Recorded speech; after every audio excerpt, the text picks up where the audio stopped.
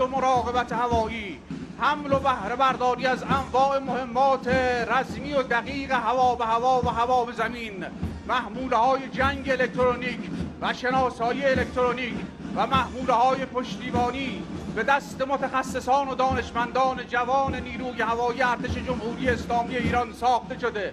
تا کارشناسان جهان چاره ای جز اعتراف به تبدیل شدن ایران اسلامی به ابرقدرت پهبادی نداشته باشند. قدرت پهبادی ارتش جمهوری اسلامی ایران با استفاده نیروهای چهارگانه ارتش از انواع پهبادها از جمله پهبادهای راهبردی کمان 2212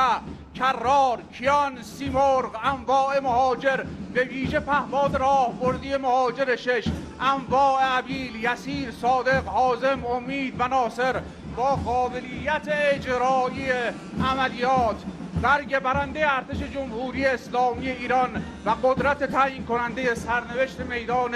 نبرد است. بینندگان ارجمند